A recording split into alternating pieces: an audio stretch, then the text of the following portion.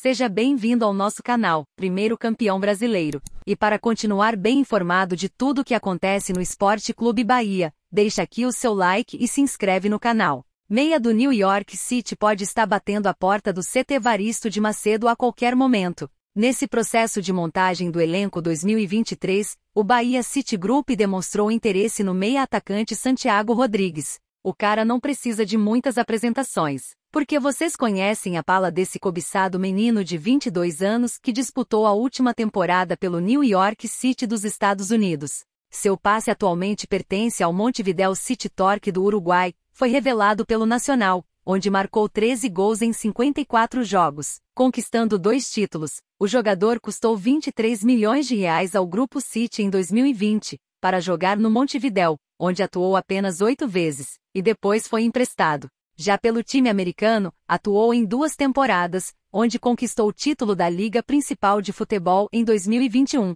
Ele também tem passagens pela seleção uruguaia de base, nas categorias sub-17, sub-20 e olímpica, e agora entrou no radar do Esporte Clube Bahia, que no dia 21 de dezembro demonstrou interesse no atleta, já que o empréstimo chegou ao fim, a tendência é que a negociação com o Bahia possa ser facilitada, e parece que o jogador também está interessado em vir jogar aqui. E você o que acha desse meio-campista? Gostaria de vê-lo aqui no Bahia? Deixe aqui a sua opinião nos comentários.